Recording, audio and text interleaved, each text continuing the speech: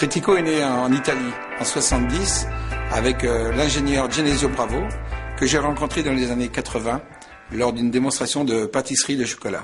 Donc par cette idée géniale de pouvoir cuire et refroidir en une seule machine avec deux cuves, j'ai imaginé qu'on pouvait faire d'énormes choses dans la pasteurisation en conservant nos produits nobles. Et donc tout ce qui est euh, produit artificiel ne concerne pas les gagnants d'aujourd'hui du Tritico. Donc aujourd'hui le Tritico, avant tout, c'est de préserver notre profession. Disons que c'est plus qu'une machine. Cette machine, donc, aujourd'hui, technologiquement, avec les années, nous ont permis de nous rapprocher, donc, Italie et France. Et, et ces cerveaux qu'on a conjugués avec l'ingénieur Bravo nous permet aujourd'hui de travailler avec automatisation. Donc, on peut créer nos recettes, euh, mettre dans la machine, on appuie sur un petit bouton, et puis la machine gère nos recettes.